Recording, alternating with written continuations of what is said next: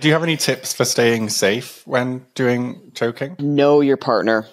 Trust your partner. Do hand signals, safe words, you know, double tap, know the body language, just research, research, research and practice, but practice on the safe side, the cautious side.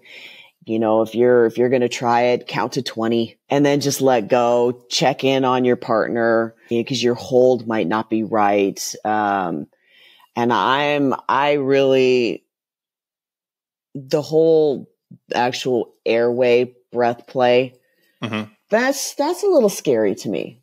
Um, and that, that's your, I mean, the receiver, the, you're going to get into a flight situation.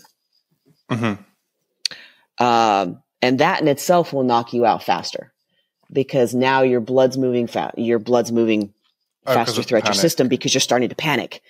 And um, if you continue to hold, you will pass out quicker than if you're calm, right? Mm. So, how extreme do you want to go? Do you want to go into that panic? Um, but it's it's always as soon as they drop, let go. Mm. don't push it any farther. Don't try. Don't tempt fate. Don't just don't. Um, yeah. if you do there, I mean, you might find yourself in a situation that you're not going to be able to come back from one way or the other, whether you'll be dead or you'll be in jail.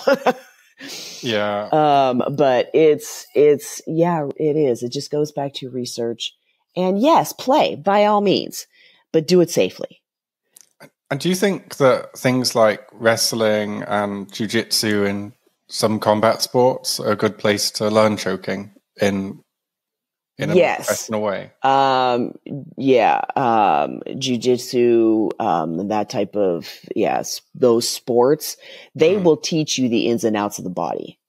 Um, because you need to know these certain things for combat per se.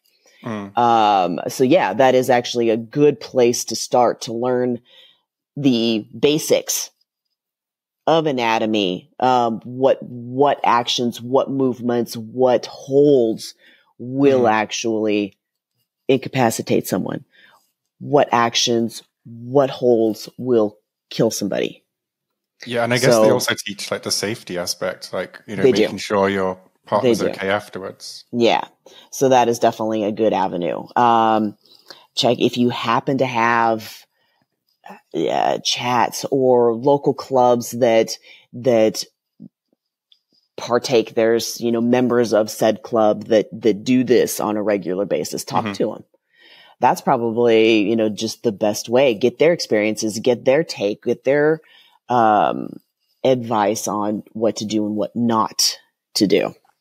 Mm-hmm. Um, and I mean, information's key. It just comes down to that.